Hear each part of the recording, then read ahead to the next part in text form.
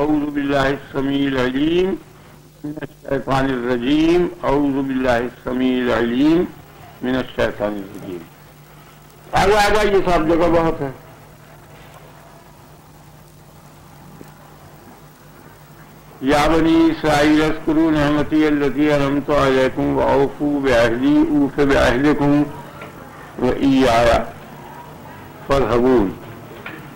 تو اس کے پہلے ٹکڑے کی تفصیل تو پیچھے بیان ہو چکی تھی اور لوگوں نے بعد میں کہا تھا کہ اس میں کچھ دشواری ہے تو اسے دوبارہ مختصر سے ادا کر دیتا ہوں فرحمون کی نہیں ہوئی تھی تفصیل۔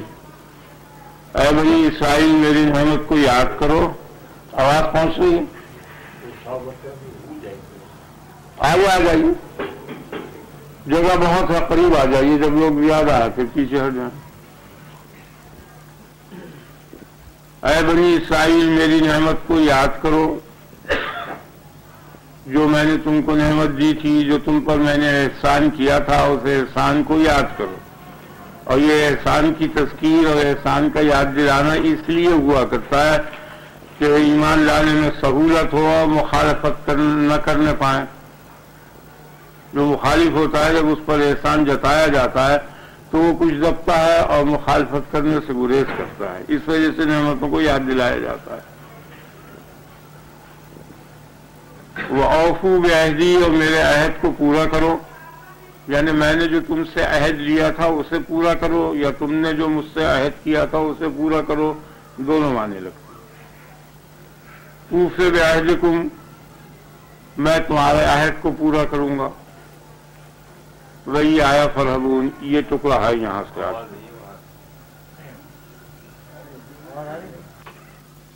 تو اس روز اس کی تفصیل بیان کر دی تھی مختصر سے، پھر دوہرا دیتا ہوں کہ نعمت کے معنی پہلے سمجھ لیں آپ کہ نعمت کیا چیز ہے۔ نعمت اس منفعت کو کہتے ہیں جو بغیر معاوضہ پہنچائی جائے۔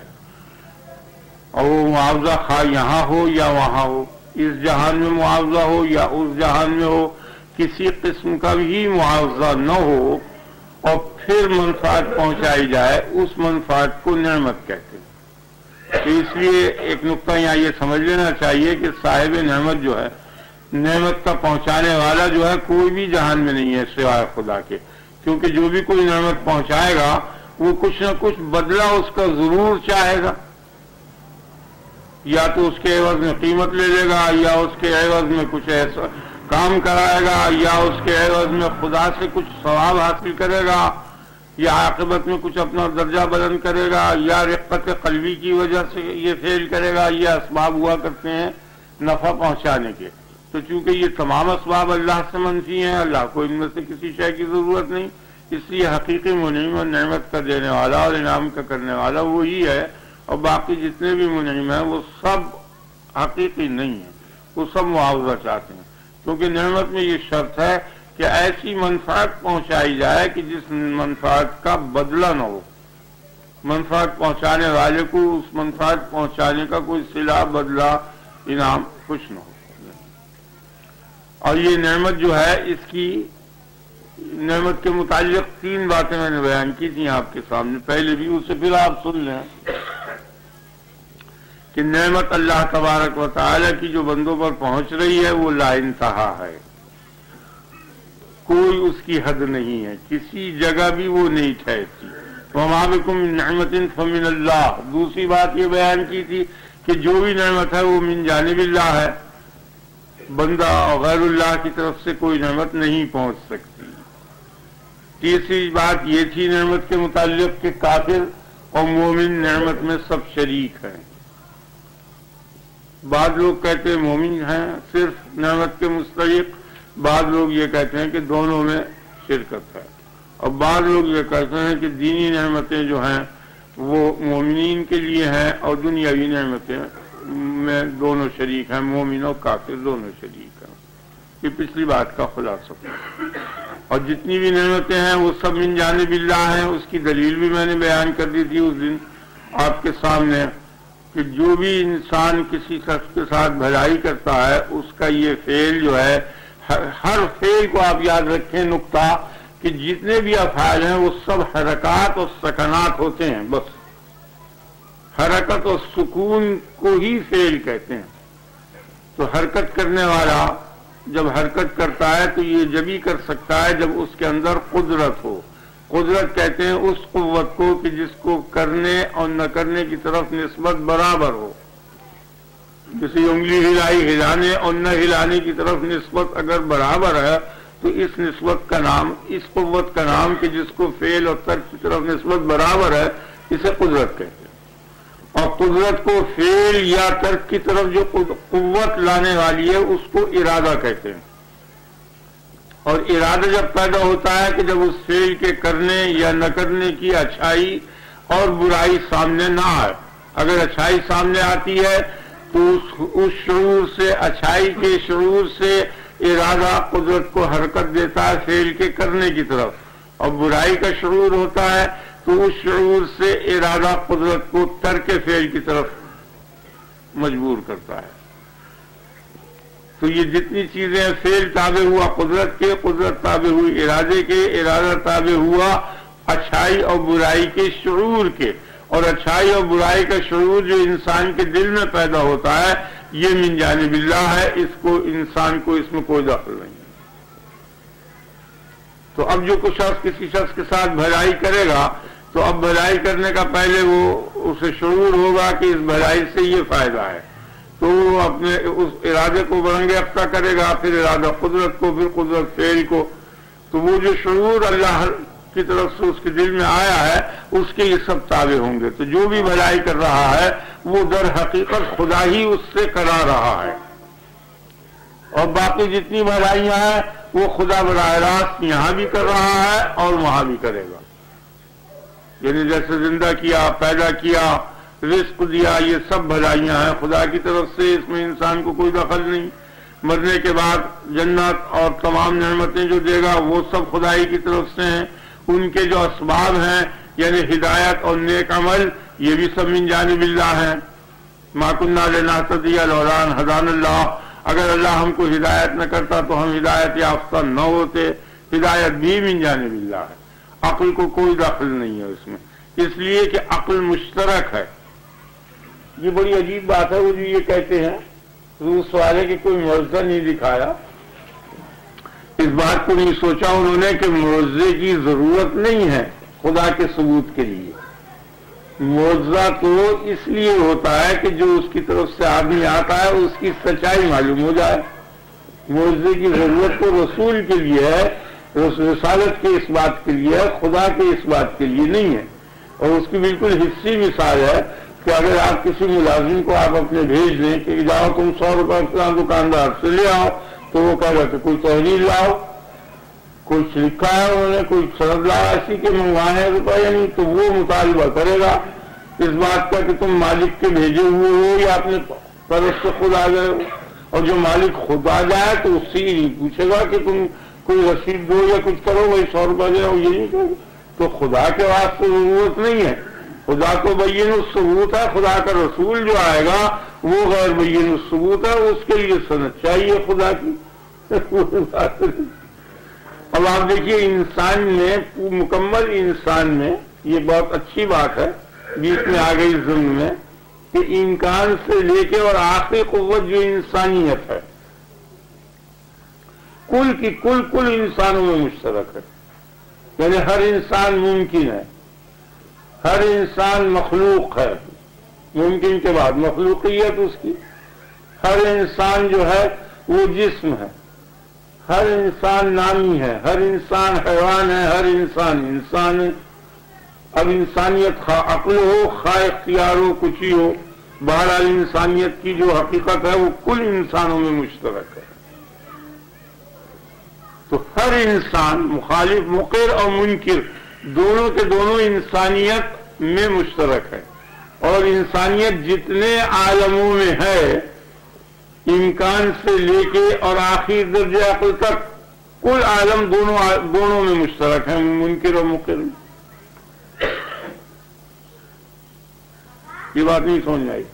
آپ نے خیال سنایا یعنی امکان مشترک، وجود مشترک، جسمانیت مشترک نمو مشترک، حیوانیت مشترک، عقل مشترک، اختیار مشترک۔ یہ نہیں ہے کہ کچھ فرق ہو، سب برابر ہیں۔ تو پھر کیا وجہ کہ ایک انکار کی طرف گیا اور ایک اقرار کی طرف گیا؟ ایک نے ایک جماعت نے اقرار کر لیا اور ایک جماعت نے انکار کر دیا تو انکار اور اقرار یہ دو مختلف چیزیں ہیں اور اسباب جتنے ہیں، ان دو مختلف چیزوں کے وہ سب متفق ہیں اور متحد ہیں اور ایک ہیں۔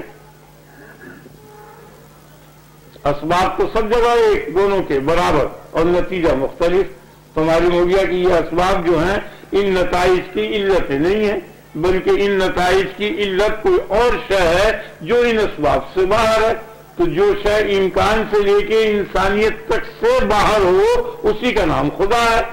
کہ نہ وہ ممکن ہے، نہ وہ پیدا ہوا ہے، نہ وہ جسم ہے، نہ نامی ہے، نہ حیوان ہے، نہ انسان ہے، نہ عقل ہے، نہ عقل ہے، نہ یہ سب چیزیں۔ بالکل کافی چیز ہے۔ تو ہر منکر کا انکار جو ہے، وہ تو دلیل ہے اس بات کی کہ خدا موجود ہے، کیونکہ وہ انکار کر ہی نہیں سکتا۔ اس لیے کہ انکار کو جس کی طرف لائیں گے آپ، جس شے سے بھی وابستہ کریں گے کہ ہم میں یہ چیز ہے، انکار کی، اس میں یہ نہیں ہے۔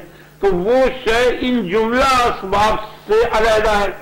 یہ جملہ اسباب دونوں میں مشترک ہیں اور وہ شے کیوں ہوئی پھر؟ جس شے کا نتیجہ انکار یا اقرار ہوا۔ فرض کیجیے زیادتی عقل نام رکھ لیجیے تو ایک شخص کہتا ہے کہ مجھ میں عقل کی زیادتی ہے اور اس میں عقل کی کمی ہے۔ اس نے عقل کی کمی کی وجہ سے اقرار کر لیا خدا کا اور میں نے عقل کی زیادتی کی وجہ سے انکار کر دیا۔ یہی سبب ہو سکتا ہے، زیادہ سے زیادہ اور تو کوئی چیز نہیں۔ یا بہرحال جو بھی سبب ہو، آپ اس کا نام جا رکھ لیجیے کہ اس میں جا ہے، اس میں جا نہیں ہے۔ تو جب یہ تمام اسباب مشترک ہیں ممکن اور مخیر میں، تو اس جا کا سبب کیوں ہوا؟ کون ہے؟ کس شے کی وجہ سے یہ جا ہوا؟ کیونکہ اسباب کو دونوں میں مشترک تھے، انسانیت مشترک، حیوانیت مشترک وغیرہ وغیرہ، سب چیزیں مشترک۔ اس میں یہ جا جس کا مسمت زیادتی عقل ہے، وہ کیوں ہوئی؟ اس میں کیوں نہیں ہوئی؟ جبکہ ظاہری اسباب مشترک۔ تو ظاہر ہے کہ زیادتی عقل کا کوئی نہ کوئی سبب ضرور ہے۔ اور یہ تمام چیزیں سبب ہو نہیں سکتی، تو ان اسباب سے باہر جو قوت ہے وہ ایک سبب ہے۔ تو ان جملہ اسباب سے انکان سے لے کے انسانیت تک جتنے بھی عالم ہیں، کل آ گئے اس میں۔ یعنی انکان میں پورا انکان آ گیا۔ نمو میں پورا نمو، جسمانیت میں پورا جسمانیت۔ یعنی جسم مؤثر نہیں ہے اقرار یا انکار میں۔ نمو نہیں ہے مؤثر، حیوانیت نہیں ہے مؤثر۔ انسانیت نہیں ہے مؤثر اور کوئی اس کے علاوہ کوئی عالم ان عالموں کے علاوہ متصور نہیں۔ تو جتنے متصور عالم تھے، وہ سب خارج ہو رہے۔ وہ سب سبب نہیں بن سکتے۔ تو ان سے جو باہر ہے، وہی ہے، اسی کا نام خدا ہے۔ تو اسی نے اس میں قوت زیادہ پیدا کر دیا اگر یہ حق پر ہے، تو اس سے انکار کر دیا۔ اگر وہ حق پر ہے اور اس نے اقرار کر لیا، تو اس میں قوت زیادہ پیدا کر دیا تو اس لیے کل انعامات من جانب اللہ ہے کل ہدایت من جانب اللہ ہے کوئی شخص ہدایت نہیں پا سکتا بغیر خدا کی ہدایت کیے ہوئے، خواہ ملائکہ مقربین ہو خواہ انبیاء اور مرسلین ہو سب کو خدا ہی ہدایت کرتا ہے۔ اور پھر ان کے ذریعے سے تمام لوگوں کو ہدایت پہنچتی ہے۔ حاجی یہ حقیقی خدا ہی ہے۔ تو یہ میرے خیال میں بہت صاف تقریر ہے۔ اور اس کے اندر کوئی وہ نہیں ہے۔ خدا کے انکار کرنے کی ضرورت ہی وہ تو انکار ہی دلیل ہے اقرار کی۔ اتنی بہین چیز اب رہ گیا نعمت کے متعلق آپ کو معلوم ہو گیا نعمت کے معنی۔ اب یہ کہ نعمت کے کل منجانے بھی اللہ ہیں، اس کی یہ دلیل آپ نے سن لی کہ ارادہ پیدا ہوتا ہے، اس شعور سے جو اللہ کی طرف سے پیدا ہوتا ہے۔ انسان اس شعور کو پیدا نہیں کر سکتا۔ کیونکہ ارادہ نیچے ہے شعور کے۔ اس لیے شعور ارادے سے نہیں پیدا ہوگا، ارادہ شعور سے پیدا ہوگا۔ شعور مقدم ہے۔ وہ پہلے شعور ہوتا ہے، وہی اسی کو غائب کہتے ہیں، وہی فیل کی طرف لانے والی چیز ہے۔ وہ مقدم ہوتا ہے اور اور تحقق میں مؤخر ہوتا ہے۔ تصور میں پہلے ہوتا ہے اور تحقق میں مؤخر ہوتا ہے۔ مثلا جس کام کو آپ کو کرنا ہے، جس مقصد کے لیے تو وہ مقصد تحقق تو ہوگا، اس کا پیچھے اور اس کا شرور ہوگا پہلے۔ تو غائب جو ہے، متصور پہلے ہوتی ہے اور محقق بعد میں ہوتی ہے۔ اسی کو غائب کہتے ہیں، دائی کہتے ہیں، باعث کہتے ہیں، سبب کہتے ہیں، وجہ وغیرہ مختلف نام ہو وہ چیز۔ تو جو بھی کوئی خیرات کرتا ہے یا کوئی بھلائی کسی کے ساتھ کرتا ہے، وہ سب من جانب اللہ ہے۔ اور یہ ایسا بہت کم ہوتا ہے۔ زیادہ تعداد تو اللہ ہی کی طرف سے ہوتی ہے۔ کبھی کوئی ایسا ہوتا ہے، کسی کو کچھ روپیہ دے دے، کپڑا دے دے، نوکری دلوا دے، وغیرہ وغیرہ۔ یہ بہت کم ہے وہ مقابلے اس کے کہ جو خدا کی طرف سے دی تو یہ جو ظاہر میں دوسرا دیتا ہوا معلوم ہوتا ہے، یہ بھی در حقیقت وہی دیتا ہے۔ صرف اتنا فرق ہے کہ یہ بیچ میں واسطہ ہو جاتا ہے۔ تو اس کو دلوانا بولتے ہیں اور ان کو دینا بولتے ہیں۔ تو دیتا بھی وہی ہے، دلواتا بھی وہی ہے۔ دینے اور دلوانے کے معنی سمجھ میں آ گئے۔ اب نعمت کے متعلق آپ کو بتا رہے ہیں کہ نعمتیں لا انتہا ہیں۔ لا انتہا نعمتوں کے متعلق یہ کہنا کہ تم اس کو یاد کرو تو لا انتہا کو یاد نہیں کر سکتا۔ متنا ہی ہو تو یاد کرے۔ کثیر تعداد لا انتہا اس کو رو نعمت یہ یاد کرو میری نعمت کو۔ تو نعمت اگر لا تناہی ہے تو کیسے یاد ہو سکتی ہے؟ نہیں، وہ متناہی آگے نا آپ کے خیال۔ میں تو لا متناہی یاد نہیں ہو سکتی۔ تو اس کے متعلق اس کا میں نے جواب بتا دیا تھا آپ کو کہ مطلب آپ نے یہ اگاردان دیکھ لیا۔ اس کے دیکھنے کے بعد اس کے جتنے بھی لا انتہا افراد ہو سکتے ہیں اگاردان جتنے چاہیں آپ شروع سے اور آخر تک بنائے جائیے۔ لا انتہا ہوتے چلے جائیں گے۔ اس کا دیکھنا ان نوعیت کے پوری افراد کا جاننا برابر ہے۔ ایک فرد کو دیکھ لیں آپ اور اس کی نو کو پوری کو آپ جان جائیں گے۔ تو اس لیے کہا کہ نعمت کو یاد کرو۔ نعمت کو یاد کرنے کے معنی یہ ہے کہ اس کے ایک شخص کا تصور، اس کی تمام انواع اور اجناس کا تصور ہوگا۔ اب دیکھ لیجیے کبوتر کو، ایک دو کبوتر دیکھتے ہیں آپ اور تمام انواع کسی جنگل میں چلے جائیں اور اس قسم کی چیز دیکھیں، آپ کہیں گے یہ کبوتر ہے، یہ کتا ہے، یہ بیل ہے کیونکہ اس کا ایک دو فرد دیکھ رکھا ہے۔ تو یاد کرنے کی یہ معنی لا انتہا کو یاد کرنے کی یہ معنی کہ اس کا ایک فرد کا یاد کر لینا، گویا کل انواع کا یاد کر لینا۔ اور یہ بھی بات آپ کو معلوم ہو گئی کہ کل نعمتیں من جانب اللہ ہیں اور لا انتہا ہیں اور لا انتہا کی تذکیر اور یاد کرنا اس کے ایک فرد کا تصور ہے۔ اس کا مضمون سمجھ میں آ گیا۔ خلاصہ میں نے کر دیا اس کو اس کا، مختصر کا۔ اچھا۔ اب یہ کہ اللہ تبارک و تعالیٰ کی نعمتیں جو ہیں لا انتہا ہیں، اس کی ایک مثال بھی میں نے آپ کو دی تھی کہ نعمت جو ہے وہ قابل ذکر ہے۔ راحت جو ہے وہ قابل، اور یہ جو تکلیف جو ہے وہ ایسی شہ ہے کہ اسے تو انسان گن سکتا ہے اور راحت کو نہیں گن سکتا۔ جیسے کہ طب محرقہ میں ہوتا ہے، اکثر طبیب اور ڈاکٹر کہتے ہیں کہ آج بارہواں روز ہے تیرہواں روز ہے یہ چالیس روز میں بخار اترتا ہے۔ یہ تیس روز کی اس کی میاد ہے، یہ برابر گنتی ہوئے چلی جاتی ہے۔ لیکن جب وہ تندرست ہو جاتا ہے تو تندرستی کے ایام کوئی نہیں گنتا، نہ مریض، نہ طبیب۔ تو ان تردو نعمت اللہ ہے، لا تو تم اللہ کی نعمتوں کو اگر گنو تو گن نہیں سکو گے کیونکہ وہ قابل گنتی کے ہے ہی نہیں۔ تکلیف گنی جاتی ہے اس اور تکلیف ہی کے لیے اسباب ہوتا ہے، ہوتے ہیں اور سوال ہوتا ہے۔ یہاں ایک اور نقطے کی بات آپ خیال کر لیں۔ کہ ہمیشہ جو سوال ہوگا وہ عارضی چیز سے ہوگا، صحت کو اصل ہے؟ کبھی کوئی یہ نہیں پوچھتا کہ یہ بچہ، یہ آدمی، یہ پیدا کیسے ہو گیا؟ اگر کوئی مر جائے تو پوچھتے ہی کیوں مر گیا، تو کہیں گے نزلہ ہوا انفلوئنزا ہے فلاں فلاں، ٹی وی تو اصل تو چیز موجود ہے نا؟ آپ سمجھ ہاں سب جگہ آپ دیکھیے، کوئی نہیں پوچھتا، آپ تندرست کو ہے سرخ چہرہ ہو رہا ہے، کلے بھائی۔ خوبصورت ہو رہا ہے، آنکھوں میں بڑا نور آ رہا ہے، کیا بات ہے؟ کوئی نہیں پوچھے گا۔ اور جو آنکھوں میں ہلکے پڑ جائے اور کچھ پچک جائے تو پوچھا جائے گا، خیر تو ہے، کیا بات ہے؟ زرد ہو رہا ہے آپ کیا بات ہے؟ تو ہمیشہ آرزہ پوچھا جاتا ہے۔ جب بھی سوال ہوتا ہے آرز سے ہوتا ہے۔ تو آرزہ جو ہے، وہ فیل ہے اسباب کا۔ اور صحت جو ہے، وہ فیل ہے مسبب الاسباب کا۔ آگے نا آپ کے خیال میں، یہ نہیں سمجھے؟ ذہن بیٹھ گیا نہیں یعنی اصل شے جو ہے، وہ تو ہے اللہ کا فیل اور اس میں جو خرابیاں اور تغیرات ہوں گے، وہ بیرونی اسباب سے ہوں گے۔ جیسے گیہوں پیدا ہو گئی، وہ تو خدا کا فیل ہے، اسے کوئی نہیں پوچھے گا کہ یہ کیوں ہوا۔ لیکن جب وہ آٹے کی شکل میں آئے گی، تو وہ کہیں گے ہاں، یہ گیہوں تھی، یہ متغیر کیسے ہو گئی؟ تو اسے کہا جائے گا کہ چکی میں ڈال کے پیس دیا گیا۔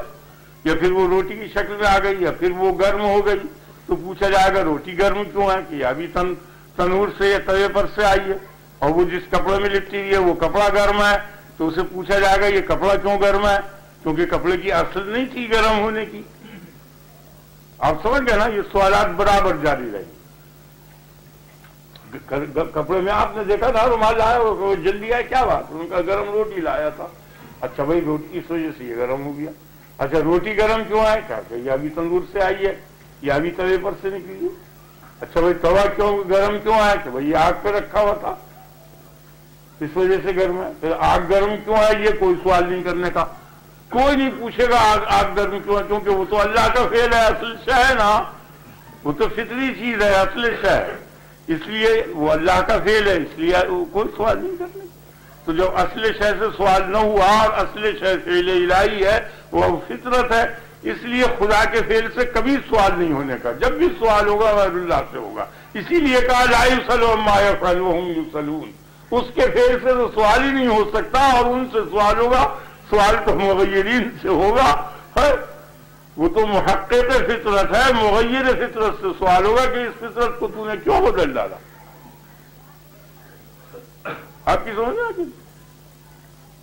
اب نعمت کے متعلق یہ خیال کہ مومن اور کافر خدا کی نعمت میں شریک ہیں۔ ایک جماعت تو یہ کہتی ہے کہ صرف مومن ہے خدا کی نعمت کے مستحق۔ اور ایک جماعت یہ کہتی ہے کہ نہیں، دونوں ہیں۔ اور ایک جماعت تقسیم کرتی ہے کہ بعض نعمتیں مشترک اور بعض مخصوص۔ جو لوگ یہ کہتے ہیں کہ دو کل نعمتیں جو ہیں وہ مومنین ہی کے لیے ہیں، ان کی دلیل تو یہ ہے کہ یہ نعمتیں جو ہیں، یہ ذریعہ بنی ہیں جہنم کا، کفار کے لیے۔ تو کفار کے حق میں یہ نعمت نہیں ہو سکتی، یہ مال جا دولت وغیرہ، یہ کچھ۔ کیونکہ جو شے کسی شے، بری شے کا سبب بن جائے، خواہ وہ فی سے اچھی کیوں نہ ہو، وہ بری ہی کہلائے گی۔ جیسے کہ حلوے میں زہر ملا کے، یہ دودھ میں زہر ملا کے کسی کو پلا دیں، تو وہ دودھ نہیں کہلائے گا، وہ زہر ہی کہلائے گا سب میں قاتل ہی کہلائے گا۔ تو یہ جتنی دنیا کی نعمتیں ہیں، کفار کے حق میں سب میں قاتل ہیں، اس لیے کافر کے حق میں کوئی نعمت نہیں۔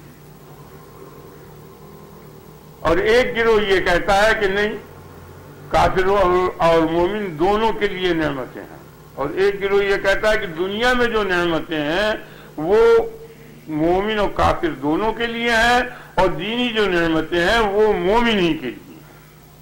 لیکن زیادہ صحیح بات یہ ہے کہ دینی اور دنیاوی دونوں نعمتیں مشترک ہیں اور تمام عالم کے لیے اس کا فیض عام ہے اور اس کی جو تام ہے۔ دینی نعمتوں کے جو اسباب ہیں، وہ کتابیں ہیں، انبیاء ہیں، ہدایتیں ہیں، وہ بھی کافروں کے لیے ہیں اور مومنوں کے لیے، دونوں کے لیے۔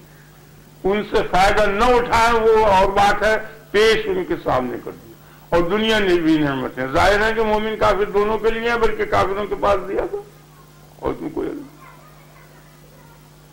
اب اس پہ یہ اعتراض ہوتا تھا کہ انمتا علیہم سراط الزینہ انمتا علیہم۔ نعمت یافتاؤں کا رستہ ہم کو دکھا اور اس کی ہدایت کر۔ تو اگر کافر نعمت یافتہ ہوں گے، تو گویا کفار کا رستہ ہم کو دکھا، یہ معنی ہو جائیں گے۔ حالانکہ یہ غلط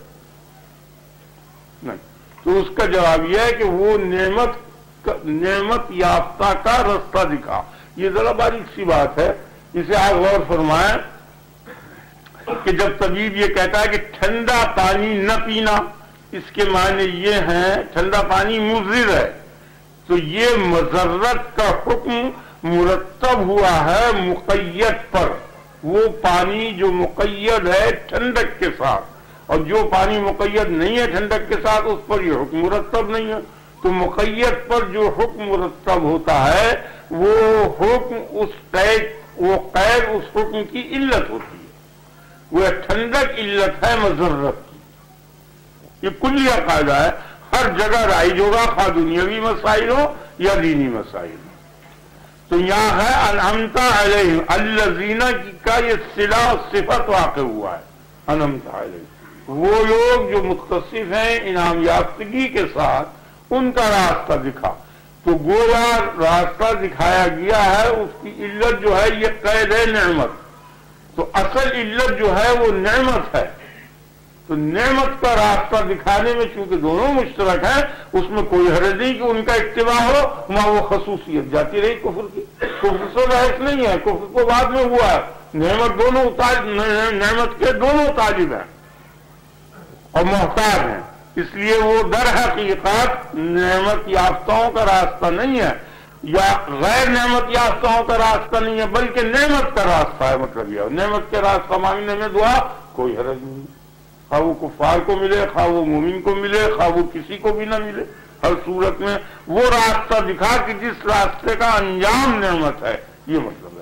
اور اس میں کوئی حرج نہیں۔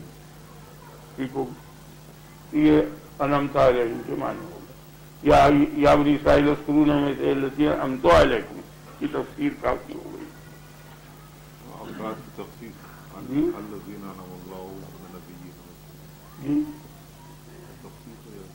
ہاں خیر وہ تفصیل ہو وہ بھی تفصیل جو ہے اسی نعمتی کی وجہ سے اس میں کوئی حرض نہیں۔ اس میں بھی کوئی حرض نہیں۔ آپ نعمت یافتاؤں کا رستہ اگر خاص کر لیں اس کو، تو خاص انعام یافتہ جو لوگ ہیں جن کو انعام پہنچ گیا، ان کا راستہ دکھا، یا خصوصیت کو آپ نکال دیں اور عمومیت پر رہیں دیں، تو پھر نعمت یافتاؤں کا راستہ اس میں اس میں تو کوئی دقت ہی نہیں، اگر آپ انعام یافتاؤں سے مراد نبیین، صدیقین شعلا صالحین لے لیں، تو پھر ان کا راستہ دکھانے میں کوئی حرج ہی نہیں اس دعا مانگنے میں۔ وہ تو نعمت جب کافر کو مشترک ہو جائے گی، اس صورت میں انعام یافتہ کیونکہ کافر ہو جائیں گے، تو سوال یہ پیدا ہوگا کہ پھر کافروں کا بھی راستہ دکھا۔ تو وہاں اس کی تفصیل ہم نے کر لی کہ وہ کافروں کا راستہ نہیں، بلکہ کافروں کے سامنے جو تو نے نعمت پیش کی ہے، اس کا راستہ دکھائیے تو وہ سوال ہٹ گئی۔ بالکل۔ آفو میرے عہد کو پورا کرو۔ یعنی جو عہد میں نے تم سے لیا تھا، اس کو پورا کرو۔ یا تم نے جو عہد مجھ سے کیا تھا اسے پورا کرو۔ میں تمہارے عہد کو پورا کروں گا۔ یہ ذرا مشکل بات تھی اور اس وقت بیان کر دی تھی۔ بعض لوگوں نے مجھ سے یہاں کہا تھا کہ یہ صاف نہیں ہوا، اس لیے دوبارہ اس کو آئے کہ یہ عہد کیا چیز ہے؟ میں نے عہد کے معنی آپ کو بتا دیے۔ کہ وہ قرار، وہ اقرار، وہ شے، ہر وہ شے کہ جو کسی شے کو لے لے اور گھیر لے، بس وہی آئے جیسے اب نیت آپ نے کی فیل کے کرنے کی کہ میں یہ فیل کروں گا، تو قصد مسمم اگر ہو جائے کسی فیل کے کرنے کا، تو قصد مسمم کو فیل لازم ہے۔ تو قصد مسمم اس فیل کو چمٹ گیا، بس یہ چمٹنا ہی جو ہے، یہی ہے۔ میں یہاں سے پانچ بجے جاؤں گا، یہ میں نے آپ سے عہد کیا۔ یا میں جھوٹ نہیں بولوں گا، تو میں نے قصد مسمم کیا ترک جھوٹ کا۔ تو ترک جھوٹ کو قصد مسمم نے گھیر لیا اور چمٹ لیا یہی مانے وہ سوکھ کے ہیں، یہی مانے آئے تو اللہ تبارک و تعالی سے لوگوں نے کیا عہد کیا تھا اور کیا قصد مسمم کس فیل کے کرنے یا نہ کرنے کا کیا تھا اور اللہ نے ان سے کیا عہد کیا؟ یہ دونوں عہدوں کے معنی۔ تو ایک عہد تو ہے زبان کا اس کا اقرار، اظہار۔ اسی لیے اردو والے اسے قول و قرار کہتے ہیں۔ وہ قول ہوا قرار کے معنی ثابت مضبوط۔ مضبوط قول، یہ معنی عہد۔ بہت صاف ہو گیا اردو کا۔ لوگ کہ وہ عہد کیا چیز ہے؟ اللہ تبارک و تعالی سے لوگوں نے کیا عہد کیا تھا؟ اور اللہ تبارک و تعالی نے ان سے کیا عہد کیا تھا؟ اللہ تبارک و تعالی نے لوگوں سے کیا عہد لیا تھا؟ اس کے متعلق دو صورت ہیں۔ ایک تو صورت یہ ہے کہ زبانی عہد لیا ہو کہ تم یہ کام کرنا یا یہ کام نہ کرنا۔ اور تو یہ تو عہد جو ہے، یہ زبانی ہے۔ اور ایک عہد جو ہے، وہ تکوینی ہے۔ ایک عہد تکوینی اور ایک عہد تکلیفی۔ یہ تکلیف دی کہ تم جھوٹ نہ بولنا، یہ عہد لے لیا۔ یا نماز پڑھنا، یہ عہد لے لیا۔ اور ایک عہد جو ہے، تکوینی ہے۔ تکوین کی یہ معنی کہ اللہ تعالی نے خلقت میں ایسی چیز پیدا کر دی کہ اس خلقت کے خلاف فیل نہ کرنا یہ دونوں قسمیں ہیں۔ یہ دوسری قسم جو ہے، عام طور پر نہیں بیان کی گئی۔ یعنی فطرت میں یہ بات پیدا کر دی، جیسے کہ اب یہ آنکھیں کیا ہیں؟ دو ہیں۔ اور زبان ایک ہے۔ تو اس کی فطرت یہ بات کہہ رہی ہے کہ اس کی کثرت اور تعجب اور اس کی وحدت اس بات کو بتا رہی ہے کہ زبان کا فیل کم ہوگا اور آنکھ کا فیل زیادہ ہوگا۔ کیونکہ دو رکھی؟ اگر آنکھ کا فیل کم ہوتا تو ایک آنکھ پیدا کرتا، زبان ایک رکھی، پھر اس زبان کے اندر بھی ایک اور پابندی لگا دی کہ اس کے آگے ایک چھتیس یا بتیس باڑے لگا دی ہیں کہ ذرا بھی اگر باہر نکلے تو اسے قلم کر دو۔ کٹ ڈالے پھر اس پر بھی اکتفا نہیں کیا، ایک آگے ایک اور پھاٹک لگا دیا۔ دو ہوٹوں کا تو یہ بالکل بن جائے گی۔ تو زبان سے کام لینے کے متعلق فطرت میں یہ بات ودیت رکھ دی کہ اس کا استعمال کم ہوگا۔ اور اس کو باہر رکھا اور دو پیدا کیا، اس سے پتہ چل گیا کہ اس کا استعمال کثیر ہوگا۔ کان کا استعمال کثیر ہوگا، زبان کا استعمال قلیل ہوگا۔ اگر آپ تو عہد کیا کیا انسان سے؟ اب اسے غور کر لیجیے کہ عہد تکلیفی عہد تکوینی کیا ہے؟ یہ مسئلہ ذرا مشکل تھا اور باریک بات تھی، پچھلی دفعہ بھی میں نے بیان کیا تھا، مختصر سا۔ آج اس کی وضاحت کر دوں کہ انسان جتنے بھی اللہ تبارک و تعالی نے عالم پیدا کیے ہیں، ان تمام عالموں میں موجود ہے یہ۔ ہر آن یہ عالم امکان میں موجود ہے، یہ عالم جوہر میں موجود ہے یہ عالم ارض میں موجود ہے، یہ عالم نمو میں موجود ہے، یہ عالم حیوانیت میں موجود ہے، یہ عالم انسانیت میں موجود ہے۔ اللہ تبارک و تعالی نے جتنے عالم ملائکہ پیدا کیا، اس میں ملکوتیت بھی ہے۔ کل جتنے عالم کل مول ہے اس سے کوئی جز باہر نہیں ہے۔ اس سے باہر اس کا خالق ہے اور باقی مخلوقات میں جتنی مخلوقیں ہیں، کل مخلوقوں کا یہ جامع ہے۔ اسی لیے اس کو عالم صغیر کہتے ہیں اور اس تمام عالم کو عالم کبیر کہتے ہیں۔ یہ سب کا خلاصہ اور نچوڑ ہے۔ اس کے اندر فرشتہ پن بھی ہے، اس کے اندر شیطان پن بھی ہے، اس کے اندر کتا پن اور بکرا پن بھی ہے۔ آگے نا آپ کے خیال میں، بکرے کو آپ نے دیکھا، ہم نے دیکھا ہے، قربانی کے زمانے میں جب دو بکرے لا کے کھڑا کرتے ہیں، تو دونوں کے آگے ٹاٹ کی بوریاں رکھ کے کٹی اور چارہ ڈال دیتے ہیں۔ دونوں کے آگے برابر برابر پاوا ہوتا ہے تو ایک بکرا کیا کرتا ہے؟ اپنی کٹی چھوڑ کے دوسری کی کٹی میں منہ ڈالتا ہے۔ وہ اس کے سینگ مارتا ہے۔ نہیں آیا آپ کے خیال میں؟ تو اس کے معنی یہ ہوئے کہ اس کی طبیعت کے اندر دو عید پیدا ہوئے۔ ایک تو بخل کے اپنا مال روکے اور ایک ہرس کے دوسرے کا مال لے۔ تو یہ بخل اور ہرس کا خصلت جو ہے، بکرے کی ہے۔ اب سمجھنا، تو یہ انسان میں بھی موجود ہے۔ ہر آپ برابر دیکھتے جائیے۔ تمام جانوروں سے خصلتیں ملی ہوئی ہیں۔ انبیاء اسی کام کے لیے آئے کہ تم جانور نہیں ہو۔ یہ بتانا ہے صرف ان کو۔ کیونکہ اگر کوئی خصلتیں جانور سے مل گئیں، جیسے شادی ہے، کھانا ہے، پینا ہے، دیکھنا ہے، اگر آپ نے کسی شے کو دیکھا تو جانور بھی دیکھتا ہے، کھایا تو جانور بھی کھاتا ہے، پیشاب کیا تو جانور بھی کرتا ہے، رہے تو جانور بھی رہتا ہے۔ بہرحال جتنی چیزیں سب دیکھ لو آپ تو اگر انسان کے کل افعال بالکل جانور سے مل جائیں، تو مثل جانور کے ہی ہو گیا نا؟ یا نہیں بلکہ ایک اور عیب ہو گیا کہ ان سے بچنے کی قوت تھی، اس قوت کا استعمال نہیں کیا۔ اس بوجھ کو لادے لادے پھرا اور اس سے فائدہ نہیں اٹھایا۔ عقل کے بوجھ کو۔ اس سے بدتر ہو گیا۔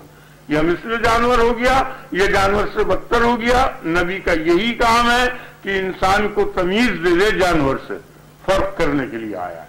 کہ ان ان افعال سے فرق ہوگا، اگر یہ افعال نہ کیے تو تو مثل جانور ہوگا۔ اور چونکہ جانور سے بچنے کی قوت تھی، اس کا استعمال نہیں کیا، تو اس کے بوجھ میں تو مر جائے گا۔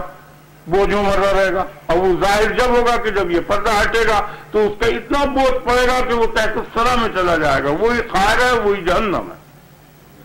کہ وہ عقل کے بوجھ کو اٹھاتا پھرا اور عقل سے اس کام نہیں لیا کالی لوکنہ نسما ناقل و صغیر کاش کہ ہم سنتے نبی کی بات یا عقل سے کام لیتے تو ہمارا شمار اہل جہنم میں نہ ہوتا۔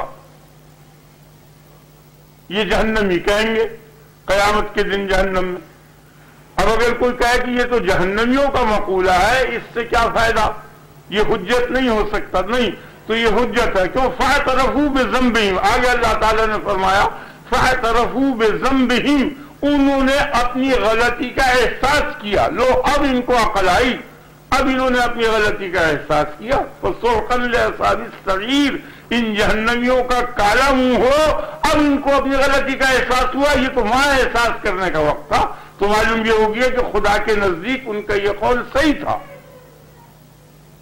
عقل سے کام لینا خیال میں گیا نا؟ تو وہ عقل سے کام لینا سکھاتا ہے یعنی ان کے نبی خود نہیں کر سکتا۔ خود عقل سے کام نہیں لے سکتا۔ نبی سکھائے گا۔ یہ فرق ہے۔ جیسے یہ بھی بڑا دھوکہ لگایا، خود ہمارے حکما کو کہ عقل سے کام لے لیں گے۔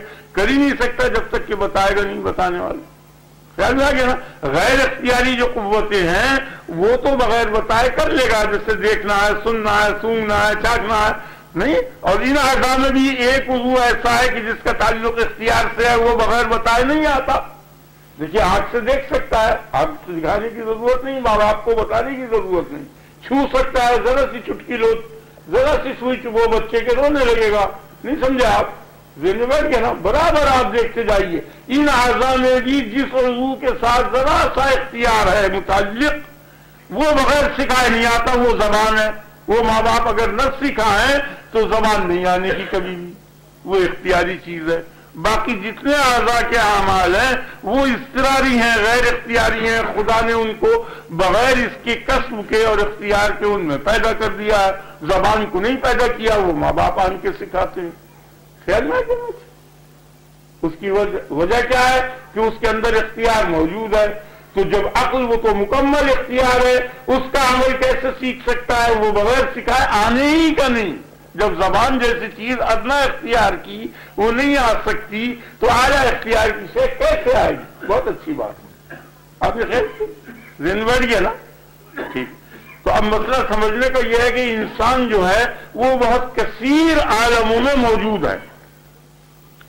جن کی تعداد اللہ ہی جانتا ہے، ضروری چیزیں جو ہیں وہ ہمارے سامنے ہیں، وہ ہمیں معلوم ہے جسمانیت مشترک، اس کے اندر آراز اس کے اندر مشترک، عرض اسے کہتے ہیں جو جسم کے ساتھ قائم ہو۔ جسم اسے کہتے ہیں جس میں زبائی چوڑائی، موٹائی ہو۔ سمجھ میں آگے نا؟ نمو بڑھنے والی، قوت، حیوانیت کسے کہتے ہیں؟ حص اور حرکت ارادی۔ حیوان کسے کہتے ہیں؟ حساس، متحرک بالارادہ۔ خیال میں آگے نا؟ یہ سب انسان میں موجود ہے۔ اب انسان ان سے بالا چیز ہے، وہ کیا ہے؟ وہ ناطق ہے۔ ناطق کسے کہتے ہیں؟ مدرک کلیات، جسے کلیات کا علم ہو۔ جیسے کہ یہ ڈینجر لکھا ہوا ہوتا ہے، پیٹرول کے آگے تو اکثر کتا وہاں بیٹھ جاتا ہے۔ وہ اس کو دیکھ کے نہیں سمجھتا۔ لیکن اگر ظاہر میں کہیں آگ جل رہی ہو تو کتا وہاں کبھی نہیں جانے کا۔ لیکن مخفی آگ جو ہے، وہ نہیں سمجھ سکتا۔ وہ کلی ہے اور یہ جزی ہے، کلی آگ۔ تو انسان اس کو دیکھ کے لال اس کو حروف کو یا اس کو ڈینجر کو دیکھ کے بچ جائے گا کتا نہیں بچنے کا، یہ معنی نطق ہوتے ہیں۔ نطق حقیقی، اور ظاہری نطق یہ جو زبان ہے۔ آگے آپ کے خیال میں، تو ادراک کلی جو ہے، یہ ہے انسانیت۔ کلیات کا احساس کرنا جزیات سے کلیات کا نکالنا، نامعلوم چیز کو معلوم سے اخذ کرنا، یہ کام ہے انسان۔ کا تو اس عالم میں بھی موجود ہے آگے آپ کے خیال میں یہ نہیں آیا۔ تو اب اصل انسان کیا ہوا؟ اجزاء کو اگر اجزاء نکال دیں، اصل اسے کہتے ہیں کہ اگر وہ نہ ہو تو کوئی شے نہ ہو۔ اصل شے شے کی اصل کیا چیز ہے؟ وہ چیز کہ اگر وہ نہ ہو تو وہ شے نہ ہو۔ وہ اصل کہلاتی ہے، وہ حقیقت، وہ اسی کو حقیقت کہتے ہیں۔ وہ اس کی ماہیت کہلاتی ہے۔ تو اگر اس میں سے وہ انسانیت جاتی رہے تو پھر یہ تمام عالموں میں منقسم ہو جائے گا۔ جسم جسمانیات میں چلے جائے گا، نمو نمو میں چلے جائے گا، پانی پانی آگا ہوا ہوا، ہر ہر حیز میں اپنے اپنے یہ منتقل ہو جائے گا۔ آگے نا آپ کے خیال میں، سمجھ گئے نا؟ تو ایک ایسی شے جس نے ان تمام عالموں کو باندھ رکھا ہے۔ اور باندھ کر اس کو ایک معین شے بنا دیا، وہ شے کیا ہے؟ وہ شے جو ہے، اس شے کا نام ہے اختیار، قوت اختیاری۔ اور وہ پیدائش سے لے کے اور آخر ساتھ تک رہتی ہے۔ بچے میں بھی ہوتی ہے، چھوٹے بچے میں، دودھ پیتے بچے میں اور مرتے دم تک وہ رہتی ہے۔ اس اختیار کو جو چیز ضائع کرنے والی ہوتی ہے اور خراب کرنے والی ہوتی ہے، کوئی بھی شے ہو، جتنی بھی چیزیں ہیں، وہ سب کی سب جو ہیں، اس کے اوپر سے نثار کی جائیں گی۔ جب بھی اختیار خراب ہونے لگے گا، تو اس سے نیچے کی جو قوا ہیں، ان کو بیکار کر دیا جائے۔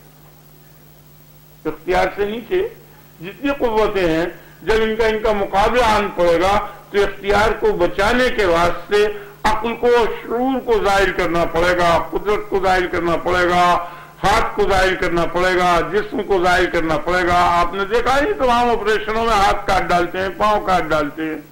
آنکھیں نکال دیتے ہیں، سبھی کچھ کرتے ہیں۔ کیا نا جی تو آلہ کے مقابل میں آلہ کو بچانے کے واسطے ادنا کو قربان کر دیا جاتا ہے۔ اگر آپ کے کوئی لکڑی مارے سر پر، تو آپ ہاتھ آگے کر دیں گے۔ حالانکہ ہاتھ میں کیا چوٹ نہیں لگنے کی؟ دکھ نہیں ہونے کا۔ بہت دکھ ہوگا۔ انگلیاں ٹوٹیں گی چور چور بولیں گی۔ لیکن سر کو بچانا ہے، اس پر سے ہاتھ کو نثار کر دیا۔ تو اختیار کی بنا پر اختیار کو بچانے کے لیے ہر چیز کو انصار کرتا ہے۔ تو اصل انسانیت اختیار ہے۔ بس اگر اختیار نہیں ہے تو وہ انسان نہیں ہے۔ وہ مخاطب رب العالمین بھی نہیں ہے اور مخاطب قوم بھی نہیں ہے۔ انسان کا بھی مخاطب اختیار جانے کے بعد اگر کوئی کسی کو مار ڈالے تو اسے پھانسی نہیں ہونے کی۔ پاگل آدمی اگر مار دے کسی کو تو پھانسی نہیں ہونے کی۔ چھوٹا بچہ اگر مار دے کسی کے چھری وغیرہ تو اسے پھانسی نہیں ہونے کی۔ کیونکہ اختیار کی بنا پر وہ مخاطب رب العالمین ہے۔ اور مخاطب انسان ہے۔ اصل شہ وہ ہے، اختیار۔ اختیار کی کیا حالت تھی؟ اختیار کو مختار اور غیر مختار دونوں کی طرف نسبت برابر تھی۔ تو یہ امانت دی تھی، یہ عہد دیا گیا تھا، یہ شہ عہد یہ کیا تھا کہ یہ شہ میں تجھ کو دے رہا ہوں، اس کو بگاؤ جو نہیں، جو کا تو واپس لا کے مجھے دے دے۔ یہ جو اختیار دیا ہے فیل کے کرنے اور نہ کرنے کا، یہ اختیار خراب نہ ہو جائے۔ آپ سمجھیں بڑی اچھی بات ہے، باریک بات ہے، عمدہ بات ہے، نافع بات ہے اور ایمان میں قوت دینے والی چیز ہے۔ انسان کو یہ اختیار اللہ تبارک و تعالی نے دیا ہے کہ یہ چیز تو جو کی تو مجھے واپس لا، یہ معاہدہ ہوا ہے۔ اللہ اللہ سلیم۔ قلب سلیم لے کے میرے پاس آئی ہو، وہ قلب سلیم کیا چیز ہے؟ وہ یہ اختیار ہے کہ اس اختیار کو اگر تو نے قاعدے میں اور صحیح استعمال کیا تو یہ باقی رہے گا، ورنہ یہ بگڑ جائے گا۔ کیا مطلب؟ اختیار کو فیل اور ترک، مختار اور غیر مختار، دونوں کی طرف نسبت برابر ہے۔ تو اب فیل کا صدور غیر مختار کا یا مختار کا، کرنے کا یا نہ کرنے کا ہو نہیں سکتا جب تک کہ اس اختیار کو بیرونی طاقت کسی ایک طرف کھینچ کے نہ لائے۔ یہ بات سمجھ میں آ گئی؟ بھائی یہی تو ہے ذرا سا مشکل اگر یہ سمجھ میں آ گیا تو آگے سو کچھ نہیں۔ یعنی کوئی بھی فیل اور ترک کے فیل کسی فیل کو آپ کریں یا نہ کریں یہ جبھی کر سکتے ہیں کہ جب آپ کے اختیار کو فیل کے کرنے کی طرف کوئی قوت لے آئے یا فیل کے ترک کی طرف کوئی قوت لے جائے، اس وقت تک نہیں کر سکتے۔ اب بھی آپ کو اختیار ہے کہ آپ بیٹھیں اور یہ بھی اختیار ہے کہ آپ چلے جائیں۔ ایک اور بیرونی قوت ہے جس نے آپ کو یہاں بٹھا رکھا ہے۔ اب تھوڑی دیر کے بعد ایک اور بیرونی قوت آئے گی جو آپ کو کھڑا کر دے گی۔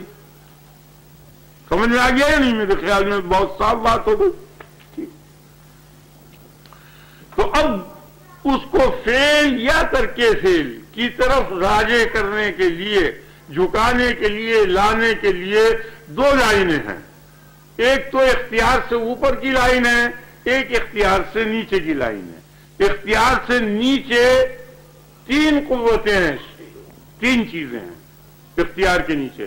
ایک کا نام شہوت ہے، ایک کا نام غضب ہے، ایک کا نام عقل ہے۔ تین قوتیں اس کے نیچے ہیں. یہ تین عنصر ہیں. آگے نا آپ کے خیال میں، یہ تین خلط ہیں. ان اخلاق اختیار سے نیچے. شہوت تو کہتے ہیں مناسب کے ادراک کو، اور غضب غیر مناسب سے بچنے کی قوت.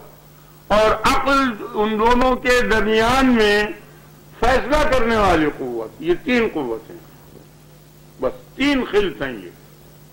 اگر یہ تینوں خلق اعتدال پر ہیں، تب تو اختیار صحیح استعمال ہوگا۔ اگر یہ تینوں خلق غیر اعتدال پر ہیں، بے اعتدال ہیں، تو یہ خراب ہو جائے جس طرح کی یہ ڈاکٹر اور طبیب یہ کہتے ہیں کہ جب یہ اخلاق اربا ہے سودا سفرہ بلغم، خون، جب ان میں بے اعتدالی پیدا ہوتی ہے، تو اس سے ایک عفونت پیدا ہوتی ہے، جو بخار کا سبب بنتی ہے۔ ہما کا سبب وہ عفونت اخلاقی ہوتی ہے نا؟ تو جس طرح سے وہ ایسا بخار پیدا کر دیتا ہے کہ ایک سو پانچ پر ہو جاتا ہے، ایک سو چھ پر سرسامی بخار پیدا کر دیتا ہے، جو انسان چند گھنٹے میں مر جاتا ہے۔ اکثر آپ نے بعض بخاروں کو دیکھا ہے۔ تو یہ اخلاق کی بے اعتدالی سے ہوتا ہے نا؟ اخلاق کی بے اعتدالی سے یہ گرمی پیدا ہوتی ہے کہ جس گرمی کے سبب سرسام ہو کر مر جاتا ہے۔ وہ آگ پیدا ہوتی اسی طرح یہ روحانی تین خلط ہے جب ان میں بے اعتدالی پیدا ہوگی تو اس سے ایک ایسی آگ پیدا ہوگی کہ جو دل تک کو جلا دے گی، اسی کو کہا اللہ المقدت التی وہ اللہ کی آگ ہے جو دل تک کو جلا دیتی ہے۔ دل بہت سخت چیز ہے۔ نا آپ سیخ پر رکھو سے جلائے کچر کچر کے کھائیں گے۔ کبھی اس کے اجزاء الگ الگ نہیں ہونے کے، کبھی نہیں گلتا دل۔ ہمیشہ آپ دیکھیے کچا ہی کھایا جاتا ہے۔ دل بہت سخت چیز ہے۔ تو وہ بہت تیز آگ پیدا کرے گا۔ کیونکہ یہ روحانی تین خلط جو ہیں، جب ان میں بے اعتدالی پیدا ہوگی، تو ایسا بخار اور ایسی گرمی اور حرارت پیدا ہوگی کہ وہ دن تک کو جلا دے گی۔ اسی کا نام جہنم ہے۔ سمجھ میں آ گیا نا؟ آپ کی۔ اور یہ روحانی اخلاق جو ہیں، یہ جسمانی اخلاق جو ہیں، ان کی بے اعتدالی جو ہے، یہ ٹائیفائڈ وغیرہ، یہ اس قسم کے بخار پیدا کرتی ہے آگے آپ کے ساتھ۔ تو اختیار سے نیچے یہ تین قوتیں ہیں، شہوت، غضب، عقل۔ اگر ان تینوں میں سے کسی ایک نے بھی کھینچ لیا، تو یہ تینوں نیچے تھے، ادنا کا آلہ تابع ہو گیا۔ یہ تین نالائق آدمی، ایک لائق آدمی کو یہ تین برے آدمی، جاہل، ایک عالم کو اپنی طرف کھینچ لیں تو یہ عالم کی توہین خرابی یا نہیں؟ یہ عقل اور شہوت اور غضب یہ تینوں ادنا تھے۔ اختیار سے۔ کیونکہ یہ سب کے سب جو ہیں، نیچے ہیں اس سے۔ تو فیل کے کرنے یا نہ کرنے کے واسطے کھینچنے والی قوات اختیار سے اوپر ہونی چاہیے۔ تو اختیار سے اوپر دو قوتیں ہیں۔ ایک تو ایسی قوت ہے کہ اس کے خلاف نہ ہو سکے اور ایک ایسی قوت ہے کہ اس کے خلاف ہو سکے اور پھر نہ ہو۔ سمجھ جائیں گے نا؟ تو انسانی اختیار سے اوپر جو ایسی قوت ہے کہ جس کے خلاف نہ ہو سکے، اس کا تو نام ہے مشیت الہی۔ اور جو ایسی قوت ہے کہ جو اس کے خلاف ہو سکتا ہے، مگر یہ نہ کرے، اس کا نام ہے امر الہی۔ ذہن میں بیٹھ گیا، تو اختیار کو امر الہی اور نہیں الہی کھینچ کے لا سکتا ہے۔ شہوت و غضب اور عقل نہیں کھینچ کے لا سکتی۔ اگر تیرا اختیار امر الہی کے تابع ہوا، تو اس اختیار کا استعمال صحیح ہوا اور یہ جو کا تو واپس آئے گا۔ سمجھ آ گیا؟ اور مشیت کو یہاں کوئی دخل نہیں ہے۔ امر الہی کو دخل ہے، کیونکہ امر کے خلاف مخالفت ممکن ہے اور مشیت کی مخالفت ناممکن ہے۔ سمجھ میں آ گیا نا؟ تو خدا کا جو امر ہے، وہ ہو۔ اور خدا کی ذات سے امر کا تعلق نہیں ہے، کیونکہ خدا براہ راست کہہ دے گا تو وہ مشیت بن جائے گی، سب مجبور ہو جائیں گے کرنے پر۔ لہذا وہ خدا کا امر جو ہوگا اور حکم جو ہوگا، وہ براہ راست نہیں آنے کا، بلکہ ایسے ذریعے سے آئے گا کہ جس ذریعے سے اختیار باقی رہے۔ تو یہاں دو چیزیں ہیں انسان کے علاوہ کل کائنات اور خدا۔ دونوں جب کوئی حکم دیں گے تو انسان مجبور ہو جائے گا۔ ابھی یہ جب کہنے لگے، لا الہ الا اللہ، تو دنیا میں کس کی مجال ہے جو انکار کر دے؟ یا زمین بولنے لگے، یا پتھر بولنے لگے، یا پہاڑ بولنے لگے یا خود خدا سامنے آن کے کہہ دے۔ خدا اور اس کا کوئی کارخانہ ایک لائن میں ہے ان سے مجبور ہو جائے گا۔ نہیں آیا آپ کے خیال بس ایک ہی چیز باقی رہ گئی، انسان۔ انسان کے واسطے سے جو خدا کا حکم آئے گا، اسی انسان کو نبی کہتے ہیں۔ نبی کی مطابقت میں جو حکم ہوگا اور اس کے مطابق اختیار پر عمل ہوگا، وہ صحیح ہوگا اور اختیار میں باقی رہے گا۔ تو معاہدہ یہ ہوا کہ اختیار کو جو کا تولا یعنی نبی کی پورے طور پر اطاعت کر۔ اب سمجھ جاؤ میرے خیال میں بہت واضح ہوگا ٹھیک ہو گیا نا؟ تو جب تو اسے سالم لے آئے گا، تو عہد میں تمہارا عہد پورا کر دوں گا۔ اس کا کیا عہد ہے؟ اس کا کیا عہد ہے؟ ان کا تو یہ عہد ہوا کہ تو صحیح سالم اختیار کو لے آ۔ تو اس کا یہ عہد ہے کہ اس اختیار میں جو نقص ہے کہ بغیر کسی مرجے کے یہ فیل یا ترکے فیل نہیں کرتا، اس نقص کو دور کر دوں گا اور مکمل اختیار ہو جائے گا، جو تو چاہے کر، اس کے خلاف وہ نہیں کہ نہیں، جس طرح میں چاہتا ہوں جو کرتا ہوں، اس طرح تو جو چاہے گا، وہ کرے گا۔ لہم شاہ نفیہ جو تیری مشیت سے تیری مراد جدا نہیں ہونے کی، اب تک یہ اس کا پلٹا ہے۔ میرے خیال میں بہت صاف ہو۔ آپ کی سمجھ آئیے نا؟ مطلب سمجھ آئیے نا عہد کا؟ کہ خدا کا معاہدہ یہ ہے، خدا کا عہد یہ ہے کہ میں اس اختیار کو مکمل کر دوں گا۔ وہ کامل اختیار ہے، یہ ناقص اختیار ہے۔ اور اس کے ان دونوں کے علاوہ سب بے اختیار ہیں۔ تمام ملائکہ، تمام جہان سب بے اختیار ہیں۔ سب مجبور ہیں بے اختیار کی یہ مانے خلاف پر قدرت نہیں ہے۔ وہ خدا کو قدرت ہے دونوں طرف یا انسان کو۔ اسے ناقص، اسے کامل۔ اس ناقص اختیار کا بدلہ یہ ہوگا کہ کامل اختیار مل جائے گا۔ لہو فیا مائے شاؤن لہو مائے درون جو دعویٰ کریں، جو مانگے جو چاہیں وہ ہوگا۔ اگر یہ خیال کر لے کہ ایک ارب برس تک اس سیب کی لذت منہ میں رہے تو ایک ارب برس رہے گی۔ یعنی دل میں جو بات آئے، انسان کے، اس کے خلاف کبھی اب تک نہیں ہونے کا وہی ہوگا جو چاہو کرو۔ سارا قرآن شریف بھرا ہوا ہے، آپ دیکھیے، یہی پلٹا ہے۔ یہ جہاں جزا کا ذکر کیا ہے، یہ عنوان نہیں ہے جو میں بیان کر رہا ہوں۔ یہ بہت ناقص ہے میرا عنوان، اس نے بڑی تفصیل سے قرآن میں بیان کیا۔ کہ یہ جو تم کو ناقص اختیار دیا ہے، اس کو صحیح سالم لے آئے اور بگاڑا نہیں میری چیز کو، تو میں اسے مکمل تمہارا حوالہ کر دوں گا۔ سولہ۔ اب یہ کچا ہے، اس وقت پکا ہو جائے گا۔ اور اس کے حاصل کرنے میں اگر کچھ رکاوٹیں ہوں، تو ان رکاوٹوں کا خیال نہ کرنا، وہی یا فرحبون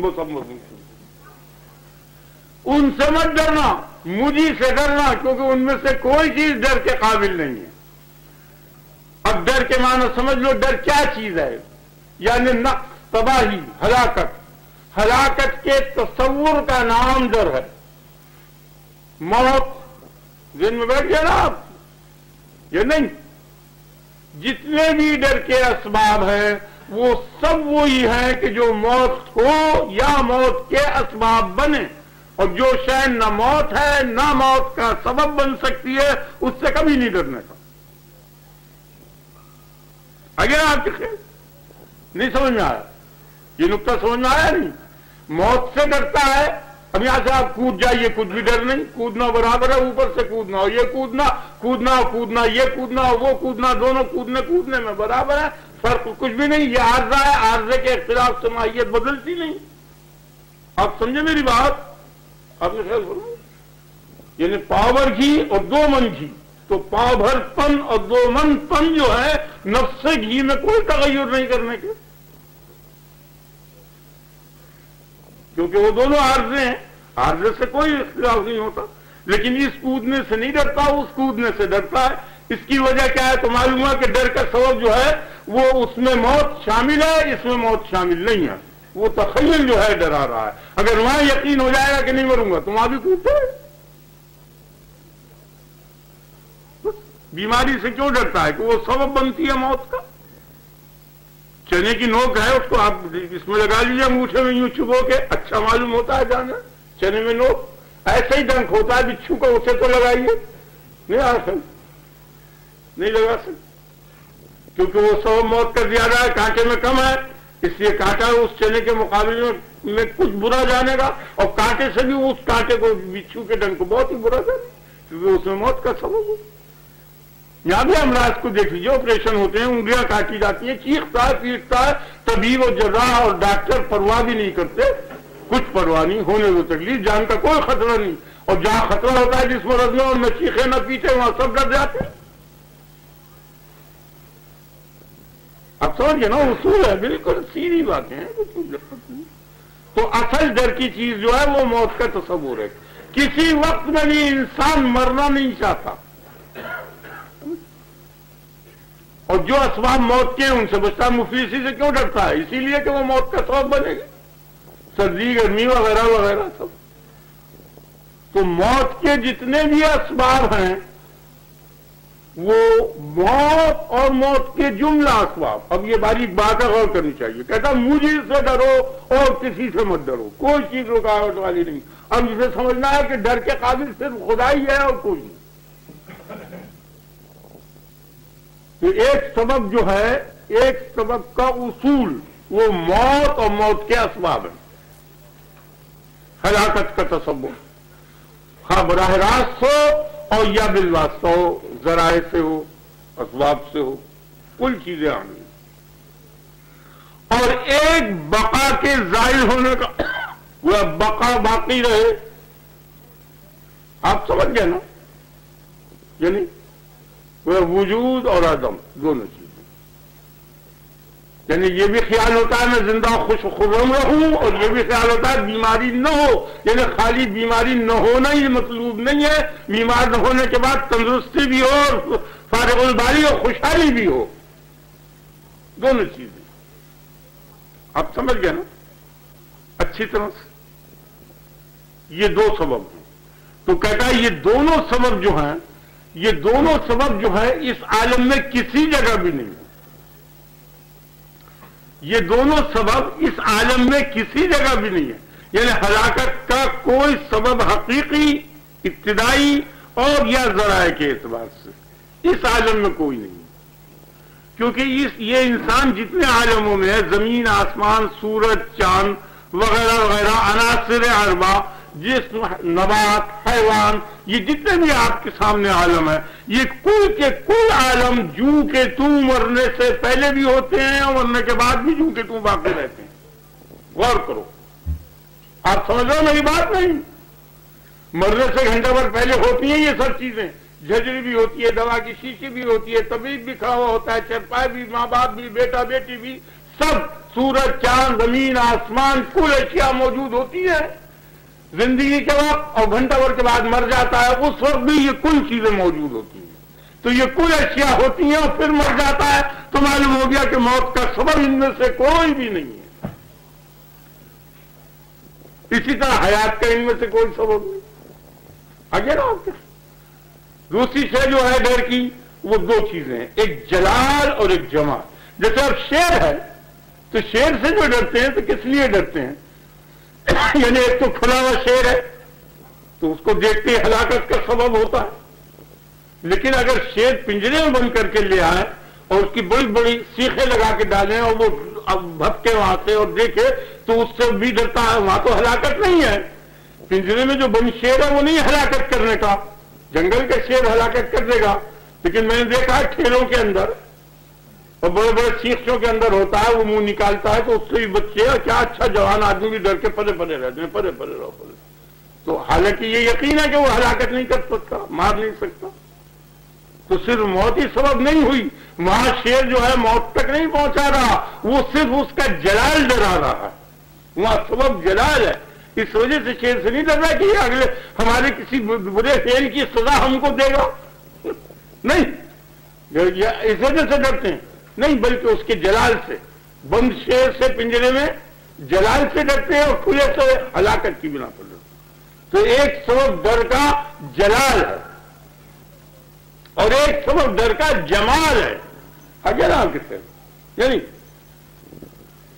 فلما رائے نہ ہوں اکبر نہ ہوں وہ کتا بھی ہوں جو ہی یوسف علیہ السلام کو انہوں نے دیکھا اکبر نہ ہوں دہشت زدہ ہو گئی۔ اور اس دہشت زدگی میں ہاتھوں کو کاٹ ڈالا۔ کتنی حیبت تاری ہوئی۔ تو حسن کا اور جمال کا ڈر ہوتا ہے اور جلال کا ڈر ہے۔ تو کہتا ہے، پورا جمال مجھ میں ہے۔ پورا جلال مجھ میں ہے۔ جتنے اسباب موت ہیں، وہ سب میرے ہاتھ میں ہیں۔ جتنے اسباب بقا ہیں، وہ سب میرے ہاتھ میں ہیں۔ تمہارے اچھے اور برے فیل کرنے کی جو جزائیں ہیں اور عقوبات اور انعامات ہیں، وہ سب میرے ہاتھ میں ہیں۔ کون سا سبب ہے ڈر کا جو میرے میں نہیں ہے؟ ہر حیثیت سے میں ڈرنے کے قابل ہوں، اس لیے مجھے سے ڈرنا اور کسی سے نہ ڈرنا۔ وہی آیا کیا بولیے آگے ہاں۔ ہاں نا آپ کے خیال؟ تو سوائے اس کے کسی سے مومن کو نہیں ڈرنا چاہیے، بلکہ کسی عاقل کو نہیں ڈرنا چاہیے۔ تو میرے خیال سے مضمون کافی ہو گیا۔ اگلی آیت چلے گی تو اس کا مضمون ایک گھنٹے میں ختم ہوگا۔ اب اب تم اپنے رب کے نام کی تکبیر پڑھو اور اس کی بڑائی بیان کرو زیادہ سے زیادہ۔ اور مضمون وہ جو سمجھ میں آ جائے اور جو دو گھنٹے بیان کیا اور سمجھ میں نہ آیا، وہ بیکار۔ اب تم کو چاہیے کہ تم سب اپنے رب سے ڈرو اور میں بھی۔ خدا تم کو بھی توفیق دے اور مجھے بھی توفیق دے۔ اللہ اکبر، کبیرہ الحمد للہ کثیرہ سبحان اللہ بکرتم واسیرہ اللہ اللہ اللہ، یا سبو یا قدوس، یا غفور، یا ودود، سبحان اللہ وبحمدہ سبحان اللہ العظیم. لا الہ الا انت، سبحانک انی کنت من الظالمین. لا الہ الا انت، سبحانک وبحمدک انی عملت سوءا فاغفر لی، انک انت خیر الغافرین. لا الہ الا انت، سبحانک وبحمدک انی عملت سوءا فرحمنی انک انت خیر الراحمین لا الہ الا انت سبحانک و بحمدک انی عملت سوءا، فتوب علی انک انت التواب الرحیم اللہم صلی علی نبینا و مرشدنا و مولانا محمد و آلہ و اصحابہ اجمعین اللہم بارک علی محمد و علی آل محمد کما بارکت علی ابراہیم و علی آل ابراہیم انک حمید مجید اللہم انا نسألک الیقین اللہم انا نسألک الیقین اللهم إنا نسألك اليقين، اللهم إنا نسألك العفو والعافية في الدنيا والآخرة. اللهم إنا نسألك العفو والعافية في الدنيا والآخرة. اللهم إنا نسألك العفو والعافية في الدنيا والآخرة. ربنا اغفر لنا ولإخواننا الذين سبقونا بالإيمان، ولا تجعل في قلوبنا غلا للذين آمنوا. ربنا إنك رؤوف رحيم. آج انجام میں اسد صاحب کی سالگرہ کے متعلق بیان کیا گیا، کچھ نظمیں چھپی ہیں۔ آپ لوگ بھی ایک فاتحہ کا سال ثواب سب مل کے اسد صاحب کی روح پاک کو کر دیں بسم اللہ الرحمن الرحیم۔ الحمد للہ رب العالمین۔ الرحمن الرحیم۔ مالک یوم الدین۔ ایاک نعبد و ایاک نستعین۔ اہدن الصراط المستقیم۔ صراط الذین انعمت علیہم غیر المغضوب علیہم اللهم صل على نبينا ومرشدنا مولانا محمد وآله وصحبه